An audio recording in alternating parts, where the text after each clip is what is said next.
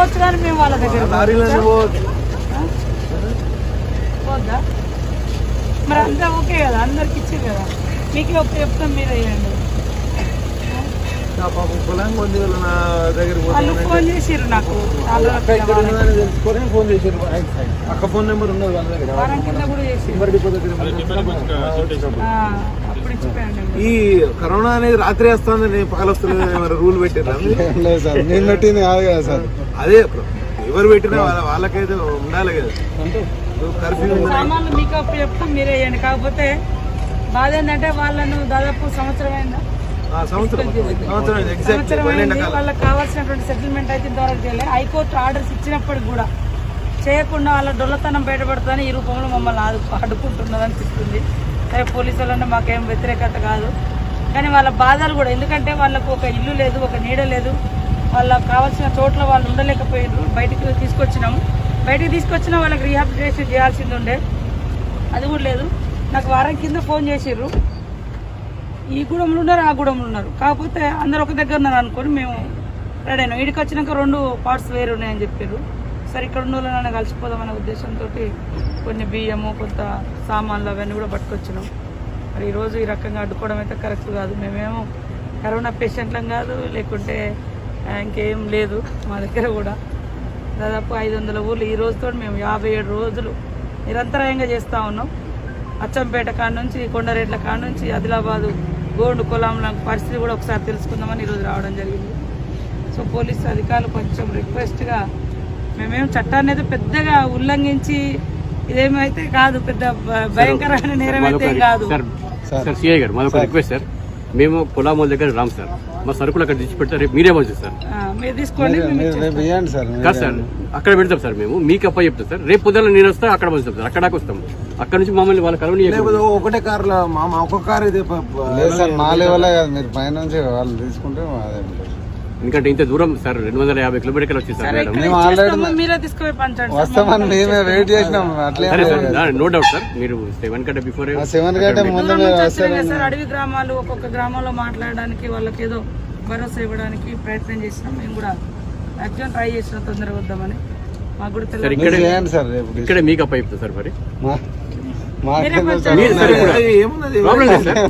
Problem లేదు sir. ఎందుకంటే sir ఇప్పటి వరకు కూడా మీ ద్వారా చాలా మంది- మీద చాలా మందికి సాయం జరిగింది సార్ ఇప్పుడు. సార్ ఇప్పుడు నేను మా వంతుగా ఏదో చేద్దామా మీరు అందరు చేసి ఉండొచ్చు చే- చేసిన అనుకుంటున్నాను ఏమన్నా మమ్మల్ని ఏమైనా ఏంటి మీరైనా తీసుకోండి. మీరు ప్రభుత్వ అధికారులు మీరు ప్రభుత్వ గిరిజన ప్రాంతాల బిడ్డలు పడుతున్నటువంటి బాధను చూసి మేము మా నియోజకవర్గంలో మొదలుపెట్టినటువంటి నిత్యావసర వస్తువుల పంపిణీ కార్యక్రమం తర్వాత మా పక్క జిల్లాలకు వెళ్ళినాం తర్వాత పక్క రాష్ట్రం ఆంధ్రప్రదేశ్లో ఉన్న కొండరెడ్డి దగ్గరికి వెళ్ళినాం. మొన్న చెంచుల కాడికి వెళ్ళినాం. ఈరోజు మరి గోండ్లు పొలాంలను పరామర్శించి వాళ్ళ పరిస్థితి కూడా తెలుసుకుందామని వచ్చి కొన్ని గ్రామాలు తిరిగినాము. కొద్దిగా లేట్ అయింది. దీనికి ఇక్కడ గత సంవత్సరం క్రితం ఇదే టైగర్ జోన్ పేరుతోటి ఎన్నో సంవత్సరాలుగా ఈ ఆసిఫాబాద్ మరి జిల్లాలో కొమరంభీం జిల్లాలో కాగజ్ నగర్ దగ్గర ఉన్నటువంటి కొలాం గొంతులను నిరాశ్రయం చేసినటువంటి ఫారెస్ట్ అధికారులు హైకోర్టు ఆదేశం ఇచ్చినప్పటికీ ఇప్పటికి కూడా వాళ్ళకు పర్మనెంట్ సెటిల్మెంట్ ఇవ్వలేదు. వాళ్ళు పాపము ముప్పై కుటుంబాలు ఒక కాడ పదిహేను కుటుంబాలు ఇక్కడ ఆసిఫాబాద్ దగ్గర పదిహేను కుటుంబాలు ఉంటున్నాయి. వాళ్ళు నాకు మొన్న ఈ రెండు పా- పార్ట్స్ నుంచి మా పరిస్థితి ఉందని ఫోన్ కూడా చేయడం జరిగింది. సరే అందరికి ఇచ్చినట్టుగా వాళ్ళ అడవిలో ఉండి వాళ్ళు పూర్తిగా కనీసం కాయో గడ్డో కోసుకునేటువంటి పరిస్థితి. ఇక్కడ షెడ్ వేసుకొని ఉంటున్నారు గవర్నమెంట్ ఇండ్లు ఇవ్వలేదు వాళ్ళకు పని కల్పించలేదు. వాళ్ళ పరిస్థితి ఏందో ఒకసారి కలుద్దామంటే మరి ఆంక్షల పేరుతోటి ఈరోజు మమ్మల్ని ఇక్కడనే అడ్డుకున్నటువంటి పరిస్థితి. మేమేం నేరాలు చేసిన వాళ్ళం కాదు ఘోరాలు చేసిన వాళ్ళం కాదు. లేకుంటే ఎన్నో లారీలు పోతున్నాయి ఎన్నో ఇసుక దందా ఇసుక లారీలు లేకుంటే ఏదో నడిపిస్తున్నారు. కానీ మేము పోయి నిత్యావసర వస్తువులు ఇవ్వడానికి మమ్మల్ని ఒక ఎమ్మెల్యేను నన్ను అడ్డుకునేటువంటి పరిస్థితి. అసలు పోలీస్ అధికారులు అడ్డుకుంటున్నారు. డిఎస్పీ గారు వస్తున్నారు సిఐ గారు. అంటే వాళ్ళకి పైనుంచి ఆదేశాలు వచ్చినాయి. ఇప్పటివరకు నేను ఒకటే అడుగుతున్నా వాళ్ళకు హైకోర్టు ఆర్డర్ ఇచ్చింది. వాళ్ళను సెటిల్ చేయండి అని మీరు ఎక్కడ వాళ్ళని వాళ్ళ ఇళ్ళలో పోనీయలేదు వాళ్ళకి కావాల్సినటువంటి పర్మనెంట్ స్టో అంటే లైఫ్ చూపించలేకపోయారు కనీసం మేము పరామర్శించడానికి కూడా మాకు అవకాశం లేదు. ఈ కరోనా కాలంలో వాళ్ళు ఎట్లా ఉన్నారు? వాళ్ళ జీవన పరిస్థితులు ఏంది? వాళ్ళ నిత్యావసర వస్తువుల పరిస్థితి ఏంది? తెలుసుకుందామని వస్తే ఇక్కడ మరి అడ్డుకోవడం అనేది వీళ్ళందరూ ఉండి ఇందాక అక్కడ పోయిన పత్తి మిల్లుల రైతుల పరిస్థితి. ఏడు గంటల తర్వాత ఎందుకు పోయారని అంటారు తప్ప మరి ఏడు గంటలు కాదు ఆరు రోజుల నుంచి నాలుగు రోజులు వారం రోజుల నుంచి పత్తి రైతులు అక్కడ లైన్లు కట్టి ఉన్నటువంటి పరిస్థితి గురించి మాట్లాడతలేరు. మేము పోయి పరామర్శిస్తే అదొక సమస్య. మరి అదే వందల మంది వెహికల్ వేసుకుని ఆడ లైన్లు కట్టి ఆడ సీసీఐ వాళ్ళు రిజెక్ట్ చేస్తే అక్కడే ఉన్నటువంటి దళారీలు తక్కువ రేటు ఐదు వేలు పెట్టి పెట్టుకోవాల్సినటువంటి పత్తిని ఐదారు వేలు పెట్టుకోవాల్సిన పత్తిని రెండు వేలకు పన్నెండు వందలకు అమ్ముకొని పోయే పరిస్థితి వస్తే వీళ్ళు ఎవరు మాట్లాడరు.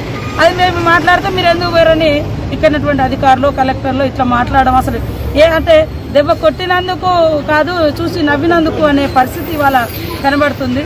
మేమేమి లే అది కనీసం వాళ్ళకి సామాన్లు ఇచ్చి ఒక్క కాడ బయట పెట్టి మేము ఉన్నాము. తర్వాత మాట్లాడతామని చెప్పడానికి కూడా మాకు పర్మిషన్ లేదు. నేను ఏమన్నా పాకిస్తాన్ నుంచి వచ్చినా లేకుంటే ఇంకేదన్నా బంగ్లాదేశ్ నుంచో లేకుంటే ఇంకే దేశం నుంచి వచ్చినా మన రాష్ట్రమే కదా మన ప్రజలే కదా.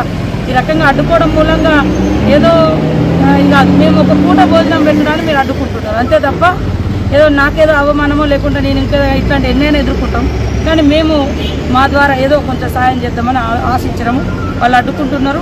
అయినప్పటికీ కూడా తప్పకుండా మా వాళ్ళ ద్వారానైనా వాళ్ళకు రేపు పొద్దున అవి అందించే కార్యక్రమం చేస్తాము. ఎక్కడికైనా మేము పోతాము పోయి ఇస్తాం అనేది మా యొక్క ఆలోచన. ఈరోజు ఇలాంటి అడ్డుకోవద్దు. ఎవరైనా కూడా నాతో పాటు ఇంకా పది మంది వచ్చి సాయం చేస్తా అంటే పేదోళ్ళ కడుపు నిండుతుంది. ఇంకా నలుగురు వచ్చి సాయం చేయని ఏం లేనటువంటి వాళ్ళు అలాంటి వాళ్ళకి ప్రతి ఒక్కరం చేయి ఇవ్వాలి.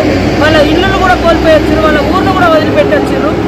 వాళ్ళ ఊరును పొలం కొంది ఊరును వదులుకున్నారు వాళ్ళ స్వస్థలాలను వదులుకున్నారు పూర్వ చరిత్రను వదులుకొని నిరాశలాగా అంటే చా సముద్రంలో ఉన్న చేపను లేదా చెరువులో ఉన్న చేప గడ్డ మీద పడ్డట్టుగా పొలం గొందిన పరిస్థితి ఉంది.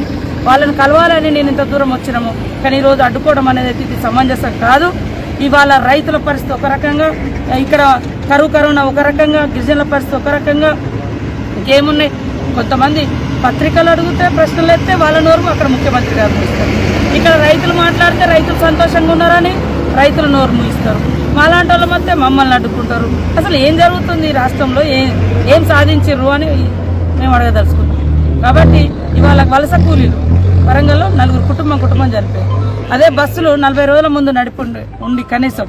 వాళ్ళందరినీ ఇళ్ళలో కూర్చోబెట్టి తినండి అన్నారు. వాళ్ళు సంపాదించుకునే తిన్నారు. తర్వాత వెళ్ళిపోండి అన్నారు. రూపాయి లేదు. కాలి బాటలు బట్టి వేల కిలోమీటర్లు నడిచిపోతుంటే చచ్చిపోతున్నారు. లేకుంటే రోడ్డు మీద డెలివరీ అయిపోయినటువంటి సందర్భాలను పిల్లల కాళ్ళు పట్టేసి వర్ణాతీతం వాళ్ళ బాధ. వాళ్ళు వెళ్ళిపోయిన తర్వాత ఇప్పుడు బస్సులు నడిపి నలభై రోజులు జనం మధ్యాహ్నం దూరం అయినరు తర్వాత ఇప్పుడు మద్యం షాపులు. అంటే ఈ రకంగా ఎగుడు దిగుడు నిర్ణయాలు ప్రజా వ్యతిరేక నిర్ణయాలతోటి ఈ లాక్డౌన్ సమయంలో అనేక సమస్యలు ప్రజలకు ఎదురైన తప్ప ప్రభుత్వాలకు ఏసీ రూమ్లలో ఉండేటోళ్ళకు బయటికి రానోళ్ళకి ఏం కష్టం కనపడట్లేదు. జనాలలో తిరగటోళ్ళకు జనం కష్టమైంది తెలుస్తుంది. ఇవాళ మేము పోయిన ఊర్లలో చాలా మందికి పదిహేను వందల రూపాయలు కూడా రాలేదు. రేషన్ కార్డు లేవు. వాళ్ళ నిత్యావసర వస్తువులు అందలేని పరిస్థితి. ఇట్లాంటి ఎన్నో సమస్యలు ఉన్నాయి. తిరుగుతుంటే జనాలలోకి వస్తే జనం బాధలు చెప్తాయి జనం బాధ తెలుస్తుంటే అయ్యో వాళ్ళకి ఏదైనా చేయాలని మానవత్వం ఉన్న ప్రతి మనిషి స్పందిస్తాడు. కానీ అట్లాంటిది లేదు. స్పందించే వాళ్ళని అడ్డుకునే విధానం ఇక్కడ కనబడుతుంది. సరే ఏదేమైనా మా యొక్క నిత్యావసర వస్తువుల పంపిణీ కార్యక్రమం రేపు మా జిల్లా అధ్యక్షుడైన మా వాళ్ళు ఇచ్చేస్తారు. పోలీసులకే ఇద్దాం అనుకున్నాం. కానీ వాళ్ళకి ఎందుకు మళ్ళీ మేము మనసు మార్చుకొని మా అధ్యక్షుడు విశ్వప్రసాద్ గారు పోయి ఇవ్వడం జరుగుతుంది.